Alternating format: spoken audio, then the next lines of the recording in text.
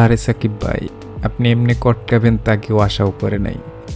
আপনি গড়ে বিরিয়ানি রেখে ভাত কেন খাইতে গেলেন বলেন তো? আপনাদের মাথার উপর দিয়ে বিষয়টা গুরুপাক খাচ্ছে তাই তো?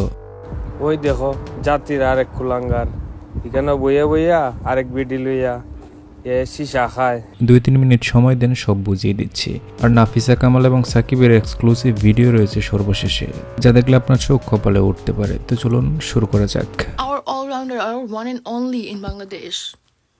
Serial cheater, serial cheater. I'm mister অলরাউন্ডারের সময়টা যে একদমই ভালো যাচ্ছে না তা বলাই যায়। একদিকে ভিন্ন দেশে খেলতে গিয়ে ভক্তদের দুয়োদুনি অন্যদিকে আবার বাংলাদেশ আওয়ামী লীগের পতন। কারণ তিনি আওয়ামী লীগের এমপি ছিলেন। শেখ হাসিনা দেশ থেকে পালানোর পর তার সবই গেল। বেচারা ছয় মাসও এমপিত্ব করতে পারল না। আবার স্টুডেন্টদের পক্ষে কথা না বলাও তার কাল হলো। দেশের অনেক মানুষই এখন তার বিরুদ্ধে। এদিকে আবার তার ব্যক্তিগত জীবনে চলছে জ্বর। বিকজ অফ এসব ভিডিও এগুলো অনেকেই বিশ্বাস করতো না, যদি শিশির সাকিবকে আনফলো না করতো। ইনস্টাগ্রামে দুজনেই দুজনকে আনফলো করা। তাই দুয়ে দুয়ে ছাড় মিলাচ্ছে সবাই।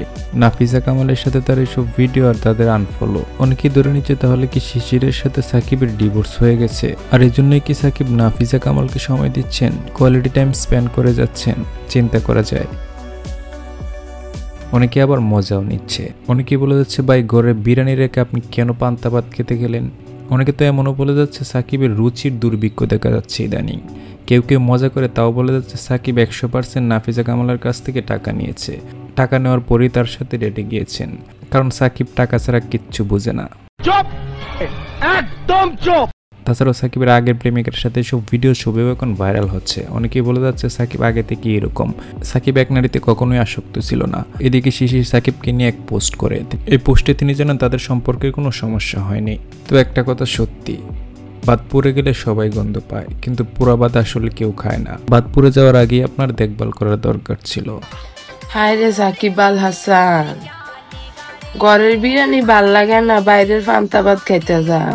তো সাকিব, শিশির এবং নাফিজা কামাল সম্পর্কে আপনার কোনো মন্তব্য থাকলে অবশ্যই জানাবেন। ভিডিও পর্যন্তই। ভালো লাগলে লাইক, কমেন্ট শেয়ার করবেন। ভালো থাকবেন, সুস্থ থাকবেন। Till then take care